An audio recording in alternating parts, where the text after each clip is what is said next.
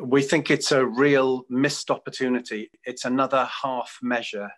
And without school closures as part of it, it's unlikely to have the, the effect that the Prime Minister wants. We've been looking at data from the Office for National Statistics.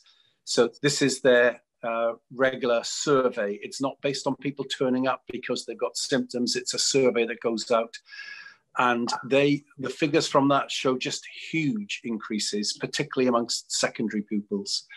From year 7 to year 11 that's the main years of secondary school those figures suggest that the, the incidence of the virus has gone up 50 times since schools reopened uh, far more than any other demographic. And we think and this increases in primary as well.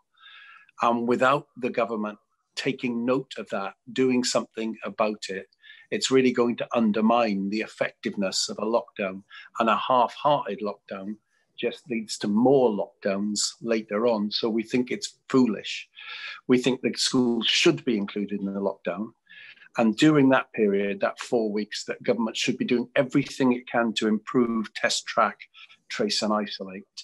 And also planning with us and planning with the sector for secondary schools, sixth form colleges at least, to be on rota operation.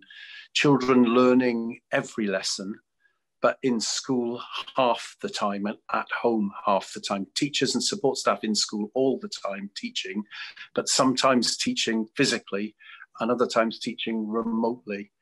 And we think that might, uh, SAGE looked at that in September and thought that would have an effect as big as closing the whole of hospitality. Um, we think that looking at the secondary school figures in particular, SAGE might now think that effect was even bigger than that. So we think that's something that really should be looked at.